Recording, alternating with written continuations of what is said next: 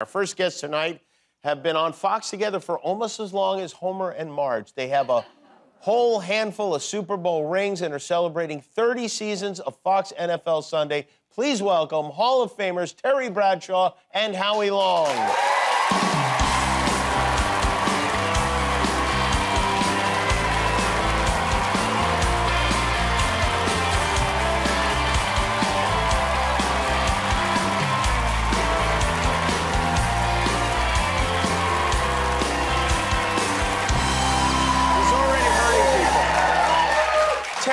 Too strong. You don't realize how strong you are. You, you, I know you're being I friendly. you love. You're like you an love. orangutan. You hit me in the head, No, and it's I like, did not hit like He's it's heavy You're looking. Yeah, he's heavy Hey, man, let me ask you a question before you get into your notes that you have right Yeah. there. Can put those aside. The show's not doing well, evidently, because you're dressed in black. Are you doing a funeral afterwards? I mean, What are, are you doing a, a child's magic show afterwards? I mean, what what are you wearing? You've got a. yeah, hey, So you thought you to weren't this funny when you were with us.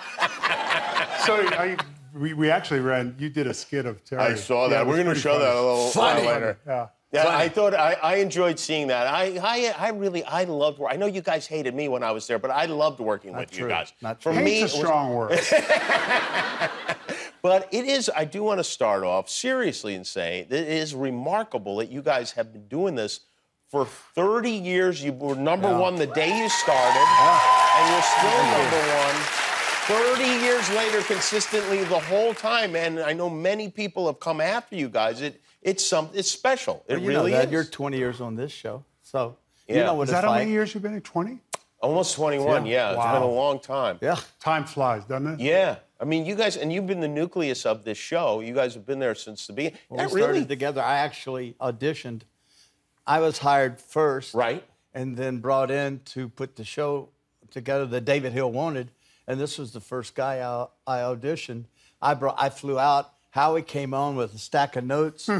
which is only Howie would do because he's so well prepared. How he is well prepared. And that did not go well for type of show that David Hill wanted to work. You know, with. as a player, you never watch the shows. I, at that time, Right. I never watched a pregame show. Right, you're so getting ready. I thought, Yeah. well, you know, this is the kind of show they're going to do, and no one told you the kind of show. And what they were looking to do is something totally different. I had spoke to the commissioner, five coaches. I'd watched five games. and, you know, I had this much. Meanwhile, and- Terry can't even read. hey, Is that not true? hey, I got my GED. Come on, man.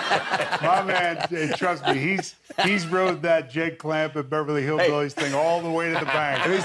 hey, what you folks don't realize, Kimmel's a big star. they, they know. Oh, no, no, no, no, no, no, no. Big Star hosted the Academy Awards, and when we knew him, you gotta be kidding. He was in the back seat of our just car. to we you. would tell him, "Shut up." It just goes it just goes to show you. Be careful how you treat people. I mean, that, that guy with the electric mower, he could be hosting the Grammys in five years. Hey, where is that guy? Yeah, I love you. yeah, He might well be. yeah. Who knows? yeah. There he is. There's Jim. Yeah. Uncle Now Jimmy. that, now that Jim's a TV star, do you feel differently about him? I think the answer is no. Yeah. But let's get back to you guys because it is a very special relationship Yeah. you have. When I was working there, you guys shared a dressing room. Do you still share a dressing room? They split us up two COVID. years ago. COVID. Oh, they split you Yeah. up because of COVID. Yeah. Yeah. all right. But you never like said, "Hey, I want my own dressing room." I've been here ten I- years. I no, I I like sh- We, dressing uh, with the big we, guy. we enjoy feelings mutual. yeah, I saw nice. things in that room Hey. that nobody should see. Yeah, it's nice knowing that as you strip down, you got to worry about anybody bothering you, you know, because you got the big guy there. He's attracting all the No, attention. we, yes. we've been together a long, long time. I mean, you know, my boys were nine, five, and four when I first got there, and two of them ended up playing in the NFL. And Terry and I covered uh, one in the Super Bowl, and we, you know, NFC That's Championship right. game. You have great sons too. They're they're good really good guys. They take yeah. after their mama. Yeah. No, they take after both parents. But uh, do they think of Terry? Are you like an uncle to them? Are you? He, he is. I was when they were younger. I mean, they got kids now, except for for Lil Howie, who just got recently got married, married. yeah. He just got married. But the other two, yeah, I was you know, Uncle John Terry. Candy Yeah. and Uncle Buck. think, think Uncle Buck with a Shreveport accent. And, and a, a great story is we were, we were doing the bowl game down in Louisiana. Yeah. Uh, Notre Dame, LSU. LSU. And I'm up in the room, you know, Doing, Studying. doing what I do and studying. And uh, uh, lo and behold, I get a call from, you know, The bar. Terry, yeah, Terry's guy Jeff, and he says, "Look, you got to come down here. You know, there's trouble." and and I said, you know, not only is there trouble, but my kids are in the bar, and he's feeding them beers.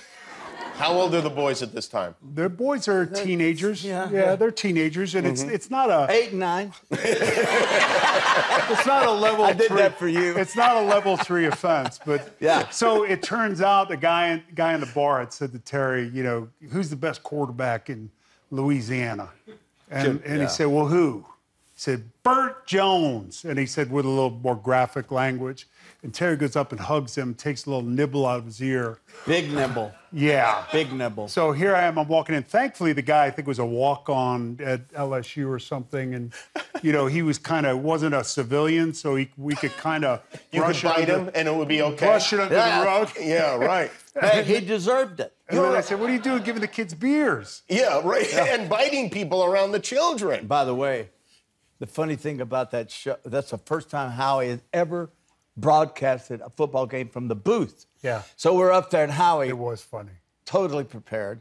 And I am too. Look, I, I do my work. Yeah. And so we're up there, and David Hill, the chairman of the board of- of Fox Sports, is there, and Ed Goren, who's the head of talent. Yeah. And Howie are are in the booth. And Howie, we figured it out. Howie's never done a game, so Howie, you do defense, and I'll do offense. We'll get out of the Sugar Bowl here, and we're going to be great. So Howie does defense, I'm offense, and the first half goes by. We look at each other, ah, high five, man, that's great. You did great. Howie, oh, man, yeah, it was just fabulous. In comes there Ed Goren, head of broadcasting teams. You got to be kidding me. That do that. the worst I have ever heard in my life. And he used language that you really don't want to use. And I'm over there going, look, I've done this before. It wasn't that bad, but that's Ed Goren. You just said he chews our ass out. So I'm like, Howie's Howie's sensitive. Howie goes, wow, are we that Wow, we're in trouble. Were we in trouble? I said, it wasn't that bad, big guy. It wasn't that bad. It becomes David Hill, chairman of the board, Ed Goren's boss. Fantastic! You guys are great. Fantastic! You guys are amazing! we went, I tell, I, I tell, I, I tell Howie, let's go with that. That's what you got to do. yeah, I'm going with the big guy. Terry Bradshaw and Howie Longer here from Fox NFL Sunday. We'll be right back. Back home in Texas, I got a prize mule go by the name of Daryl. So I'm gonna go with D. D. Yeah. Is that your final answer? Yes, sir, Regis. Yes, sir, Regis. Oh, it is. I'm sorry, Terry, but the correct answer is B, Paris. Oh, shucks. Oh, what in tarnation? Who's writing these here questions? Alfred Einstein? Alfred Einstein. Hey, you know what's so funny? Gronk said, is that Terry? He thought it was really Terry. Well, that's the late Regis Philbin and the great Jimmy Kimmel, number one guy in late night. You guys are actually going to be on his show. He pioneered the comedy here. I, I was going Fox. to be on his show. Oh, man. I'm not going now. Well, thank you for changing your mind. And by the way, you're wearing the same suit you were wearing yesterday on the Yeah, show. I am. I am. I'm not. Yeah, I'm not ashamed. This is a nice suit. It costs five hundred dollars, and I'm gonna wear it ten times this year, whether you like it or not. I'm gonna get my money's worth. You got a problem with it? Let me know. What a- But, uh, yeah, I, I wore the show. I, I, this is a nice suit. What if... It's a nice. oh, the suit's fine, yeah. Look, it's What a thrill, though, for you to have somebody like Gronk on the show Yeah. to make you appear like the wise elder statesman. Oh. I mean, really? I mean, he thought that was you for real? That's insane. that, that, I can't that's explain just that wrong. one. That's wrong. What you're doing right now, Gronk's, Howie. Gronk's great. Yeah, he's great. Oh, he's a lot of fun for Yeah, sure. he yeah. really Yeah. is. I don't know though that there's. I don't think Terry and Gronk can coexist. You know what I'm saying? Of course we can. Can Na- you? NASA we- calls once we- a week. Because like you guys go on these, you've been all over the country, you've been all over the world. You've gone on Yeah. these trips, you Right. go to military bases, etc. Boy, over um, the years, we've been everywhere. everywhere. and yeah, Gronk can't go on those with you. It's too much crazy. Like he must be. What is it like babysitting Terry on one of these trips? Well, the uh, we've been on so many of them. We've been aircraft carriers I don't know on the why they put us Mediterranean. together. Yeah, they always we bunk always us, stick us together. They always bunk us up. He's in the top bunk, and you know, you, you, don't really know what that looks like until you're in it. And there's a little TV in the corner. It's a six by nine, Six by- room. yeah, yeah, yeah, maybe, Yeah, it yeah. a bunk bed. He said, "I want the top bunk." I said, "Okay, you, you want the top bunk? Great." So unbeknownst to me, he, he's watching black and white movies all night on this one TV that has a VHS in it, and he puts the VHS in. He starts to climb up, and he's got your your dad's tidy whitey BVDs. That image is seared in my head. Hey, why are you staring, Howard? I, Why are you staring? There must, there must be, I just took there a peek. There must be more to this the than I other one was we, we were on a C-17 uh, headed over to Afghanistan. We flew to uh, Qatar. Qatar. And then we get on a C-17. C-17's big, Huge. big plane. Can fit tank Put on it, tanks whatever. tanks, yeah. yeah. whatever. It- And and they've got these crates uh, that are four feet tall, seven feet, eight feet long, and, and we don't know what's in the crates, and we don't know why they're in there. So here we are on the back of the plane, and we're, we got on the back of the plane purposely, and we're sitting next We're to on one the another. very back very back. plane. And all of a sudden, no one tells us this, the back of the plane opens up, and we're over Afghanistan. The whole the whole back of the plane opens up, and all of a sudden, I, I this hand comes over, and he's holding my hand. Hey, man. He's in a Kevlar helmet and a Kevlar vest. I said, "Why are we in Kevlar helmets and vests?" He said, "Snipers." I said, "No one would told us this before the flight, and now they're going to shoot these things out of the back of the plane." He's holding my hand. Michael's looking it over at us like there's something wrong with these two, Yeah.